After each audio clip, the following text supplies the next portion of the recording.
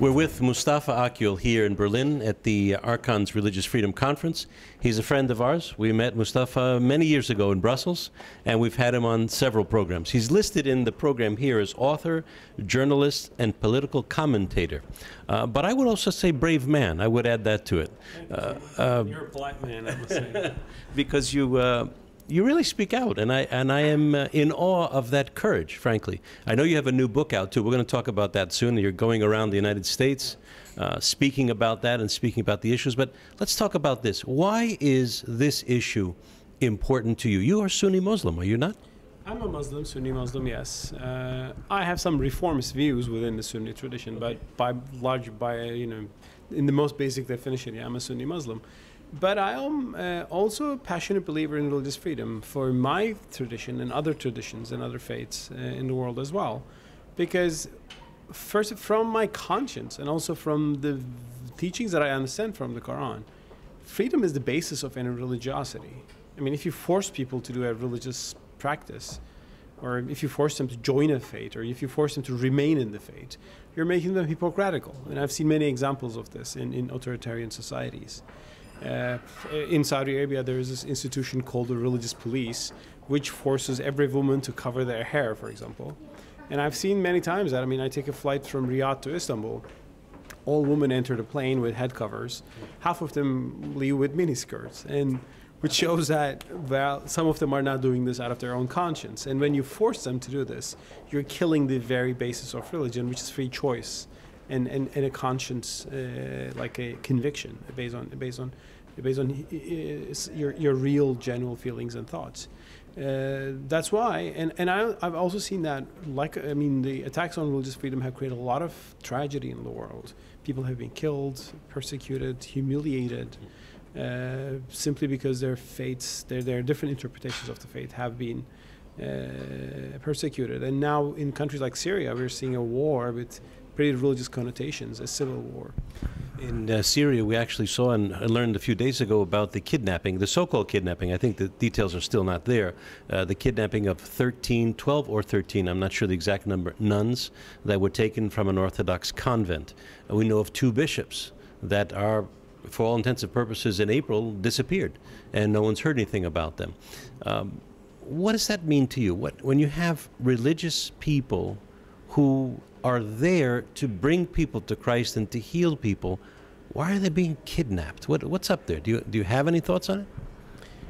In Syria right now, I mean, the regime is a brutal regime that has really uh, bombed villages and towns. But on the other hand, within the opposition, there are now very radical groups who fight the regime based on religious grounds, but also who fight everybody who disagree with them they were already fanatic in their ideology. They are like these are like Al Qaeda type of groups. Their understanding of Islam is a very peculiar and a very problematic one. They think they have ultimate access to the truth. They only know what is right, and even fellow Muslims who disagree with them are heretics, uh, and they have used violence against, uh, against fellow Muslims, and of course Christians and other traditions as well. So that is a very problematic strain within Islam, which was there in the first centuries of Islam too.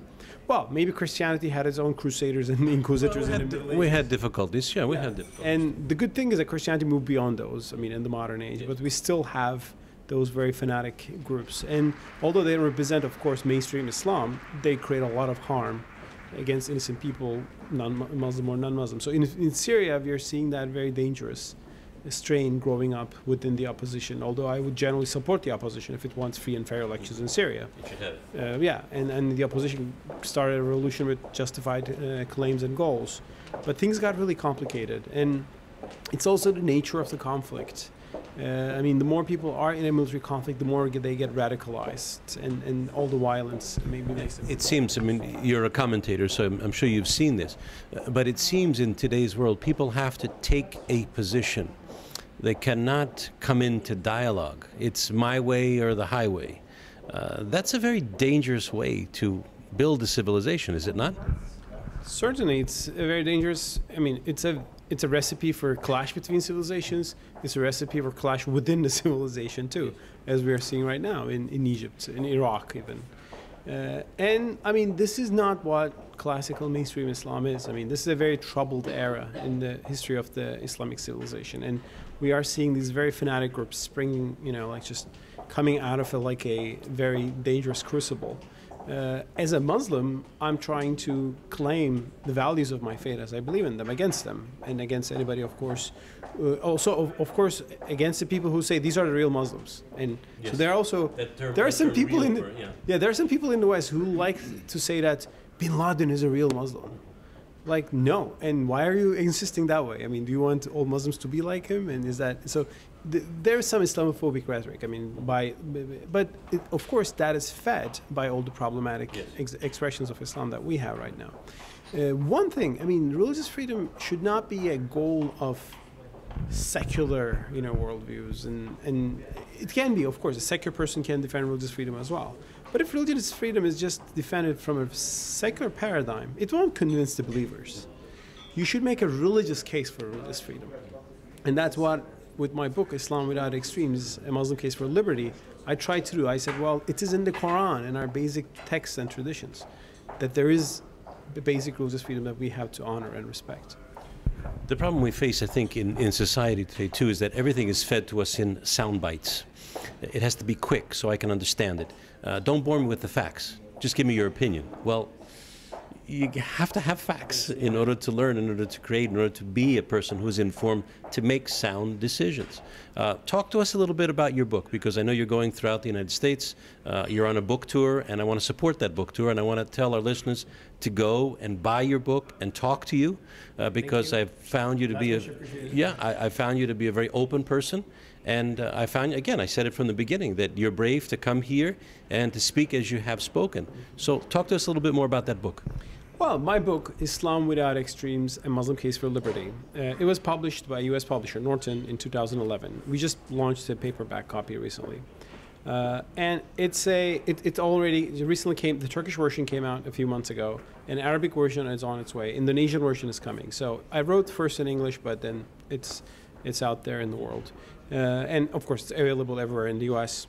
And the the main issue I'm trying to do in the book is that I try to defend freedom as a value from a Muslim point of view. Much has been discussed in the past few decades about democracy in the Muslim world. And of course, democracy is very important. But if you don't have a strong sense of freedom, simply electoral democracy doesn't solve your problems. I mean, you can have free and fair elections. Somebody can come to power and say, well, I'm in power now and I'm decreeing that nobody will do this, nobody will do that. So that, that political party or leader can impose its will. We have it in this case. We would have a uh, electoral but illiberal authoritarian democracy. That's why I think civil liberties are also very important, especially in Egypt, in Tunisia, in Turkey, in countries where it's possible that elect, electoral democracy bring a political party that is not liberal in its in its in its worldview and its practice. Uh, so I focus on specific issues like religious freedom. Like I have a chapter in my book titled "Freedom from Islam." Because one of the burning issues when it comes to freedom in our part of the world, in the Middle East, is that apostasy is seen as a crime, yeah. punishable by death. Yes. Uh, I mean, in other words, if you say, "Well, I used to be a Muslim. Uh, sorry, I became convinced by Christian literature, and I'm now inspired by Christianity. I became a Christian." You can get an execution for this. This happened in Afghanistan, in Saudi Arabia, in Pakistan and I'm arguing against these laws in, in, in, that in that chapter. I'm showing that first of all, this has nothing to do with the Quran. The Quran doesn't say you should kill people if they change their religion. It comes from the medieval understanding in Islam, which considered apostates as traitors to the community. Uh, actually, early medieval writers sometimes think of apostates uh, when, when you look at their writings. They're speaking of people who desert from the Muslim army and join the enemy. The Hanafi scholars, for example, one of the four Sunni schools, they said apostates should be punished only if they're males. Females don't count. This was not misogyny. This was the fact that this was a recognition of the fact that only males are soldiers, and you know you, you consider apostate actually basically a soldier who deserted from your army. To, now, in that medieval context, maybe it could have been understood. I mean, in that meaning, no army tolerates high, high treason today. But in the modern world today, everything has changed, and changing your religion is just your personal belief so it should be respected. It should certainly not be regarded as a crime and punished. So that's one of the uh, arguments that I'm uh, like. Uh, putting forward. forward in the book. It sounds like a tremendous book. Finally, you're here. Why are you here? Why did you come to the conference besides being invited? I mean, I got a nice email six months ago saying, "Will you come to uh, Berlin?" And I'm here because I I know the archons are trying to defend religious freedom for everybody, but also especially for the ecumenical patriarch, patriarchate in Istanbul. And I'm a defender of the rights of the ecumenical patriarchate too, because I think the rights of the ecumenical patriarchate in Turkey are not honored yet in full. I mean, we have had some good progress, and I appreciate that. And the current government did some good steps, but it's not it's not fully respected. And as a Muslim, I feel bad when I see that. Like this is my country. I'm a Muslim. I'm a Turk, and I should be proud uh, when I look at the level of religious freedom in Turkey. I feel ashamed when a Christian church in Turkey is not being opened out of a, some uh, nonsense technicality, and Christians don't have the right to practice. Similarly, I'm ashamed when a Turkish conservative Muslim woman cannot wear a headscarf and go to the state university, which was the case until a few years ago.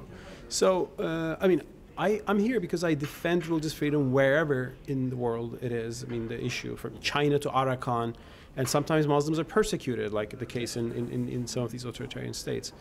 But especially if religious freedom is violated by Muslims, I'm more enraged as a fellow Muslim. I'm just like, we don't deserve to doing, be doing this to ourselves and to, to, to other people that we are uh, really oppressing in this case. Therefore, I want a more free Turkey, a free Turkey for everybody conservative Muslims, non conservative Muslims, Christians, Jews, uh, atheists. And uh, I hope the, this conference can be a contribution to first understanding the problem and then also calling for, for some change. great. Thanks very much for being here. I appreciate it. Pleasure. My pleasure. Thanks for having me.